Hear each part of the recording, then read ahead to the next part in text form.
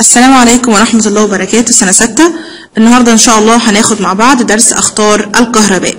طبعا الكهرباء مهمة وليها فوائد كتير ولكن في بعض السلوكيات الخاطئة اللي بنعملها بتؤدي لكوارث خطيرة.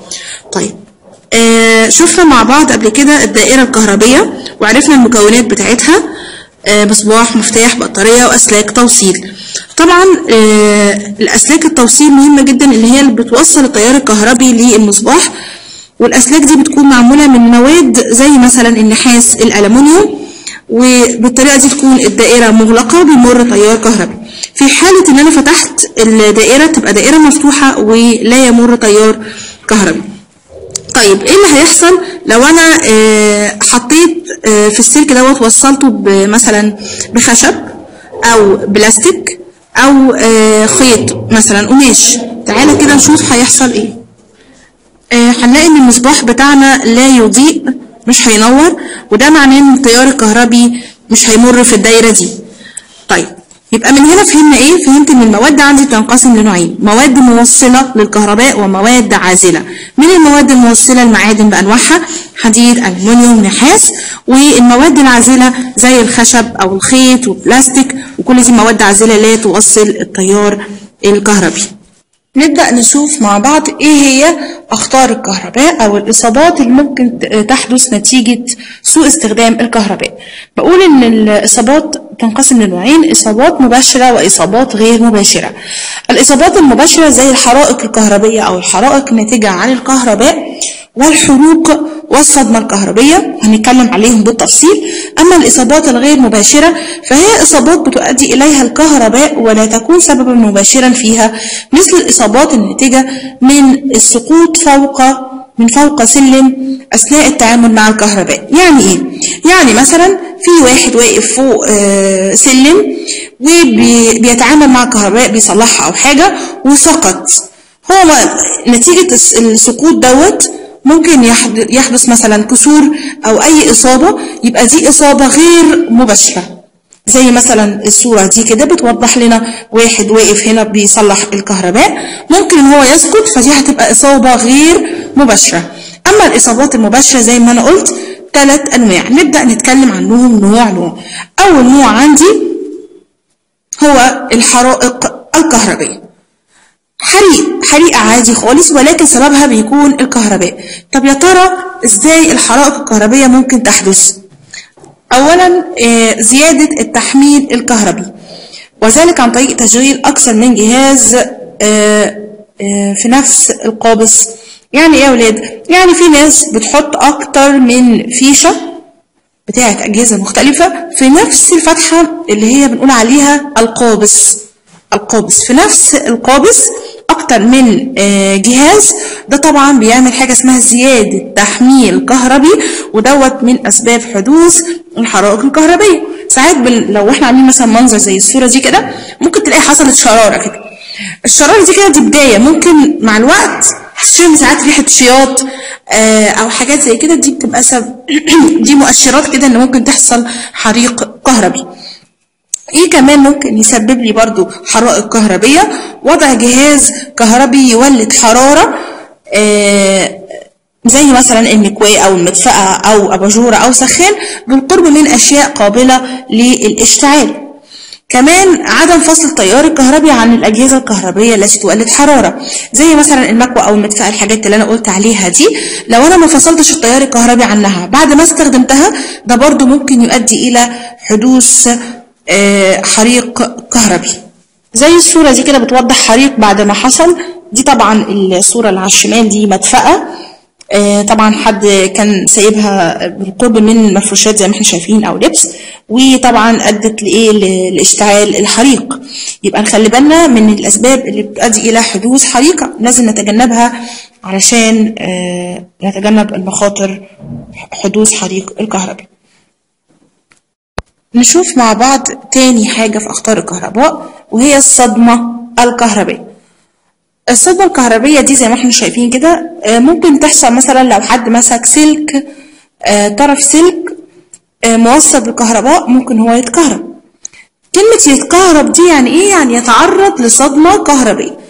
إيه هي الصدمة الكهربية؟ بقول الصدمة الكهربية دي بتحدث نتيجة مرور التيار الكهربي خلال جسم الإنسان. يبقى إحنا لو مسكنا سلك متوصل بالتيار الكهربائي سلك غير معزول مكشوف هيحصل لنا إيه؟ أكيد هنتكهرب يبقى كلمة نتكهرب دي بقى يعني إيه؟ يعني حدوث صدمة كهربية يعني التيار الكهربي يمر في جسم الإنسان. وطبعا أضرار الصدمة الكهربية بتتوقف على شدة التيار المر في جسم الإنسان. يعني أحيانا ممكن إن إحنا بنتعرض لصدمة بس بسيطة ما بيحدثش شيء وممكن الصدمة دي تؤدي إلى الوفاة لو كان شدة التيار دي طبعا كبيرة. آه كمان الزمن اللي بيستغرقه مرور التيار الكهربي في جسم الإنسان. طيب آه نشوف مع بعض آه إيه هي الحالات اللي بتحدث فيها الصدمة الكهربية؟ أول حالة عندما تكون ملامس لسلك غير معزول بيمر فيه تيار كهربي. عندما تكون ملامس لسلك غير معزول بأحد أجزاء جسمك وملامس لمادة موصلة للكهرباء متصلة بالأرض. وعندما تكون ملامسا لسلكين غير معزولين متصلين بمصدر تيار كهربي. يبقى الحاجات دي كلها بتؤدي لحدوث صدمة كهربية. ثالث حاجة عندنا هي الحروق حروق الجسم الناتجة عن التيار الكهربي. ودي بتكون بسبب إيه؟ مثلا ملامسة جهاز كهربي بيولد حرارة زي مدفأة المكواة سخان لو أنا لمستها مباشرة بأحد أجزاء الجسم ممكن إن أنا يحصل لي حروق. كمان ملامسة النور أو الشرارة المتسببة في حدوث حريق كهربي. الشرارة اللي إحنا اتكلمنا عنها اللي بتكون آه بسبب من حدوث من أسباب حريق الكهربي ممكن تسبب لي حروق في الجسم. كمان ملامسة أحد الجسم أحد أجزاء الجسم مباشرة لمصدر تيار كهربي طبعا هيحدث. صدمه الصدمة الكهربائية دي برضو ممكن تؤدي إلى حدوث إيه؟ حروق. والحروق الكهربية دي أو الحروق الناتجة عن التيار الكهربي بتسبب لي تدمير لأنسجة الجسم نشوف بعد كده جزء جديد اللي هو الإسعافات الأولية اللي إحنا بنعملها عند وقوع حوادث بسبب التيار الكهربي لو إنسان اتعرض لصدمة كهربية أول حاجة نعملها إن إحنا نعزل المصاب عن الدائرة الكهربية بفصل الكهرباء طبعا أو بعزله فورا عن مصدر الكهرباء إزاي طيب هعزله؟ إن طبعا لو لمسته أكيد إن أنا هتكهرب فنعزله إزاي؟ عن طريق دفعه دفعه بجسم عازل زي مثلا قطعة خشب أو بلاستيك. زي ما إحنا شايفين في الصورة كده آه راجل ماسك عصاية آه خشب بي بيزيح بيها السلك اللي هو كان سبب حدوث الصدمة الكهربية. برضو في جزء تحت خالص في برضو صورة تانية لحد بيفصل التيار الكهربي. يبقى دي أول حاجة عزل المصاب عن الدائرة الكهربية. تاني حاجة يستدعى الطبيب على الفور إلى مكان الحادث أو ينقل المصاب لأقرب مستشفى.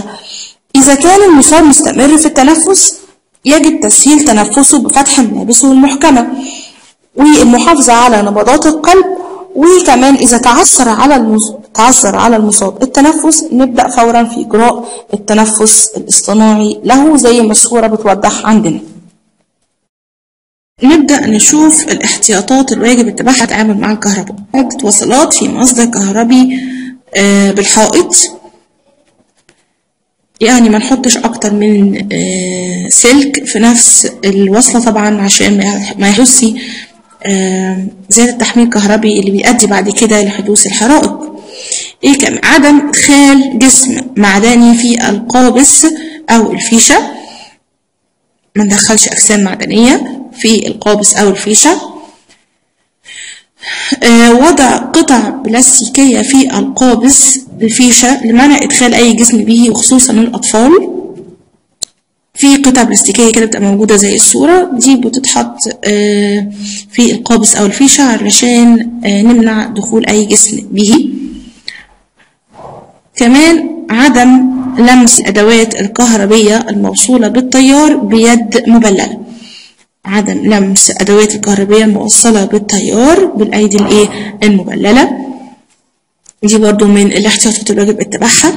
كمان آه عدم ترك جهاز كهربائي أو سخان موصول بالتيار الكهربي أثناء الاستحمام. آه عدم العبث بالتوصيلات الكهربية وعدم ترك الأسلاك المكشوفة وغير المعزولة. وبكده إحنا نحمي نفسنا من أخطار الكهرباء.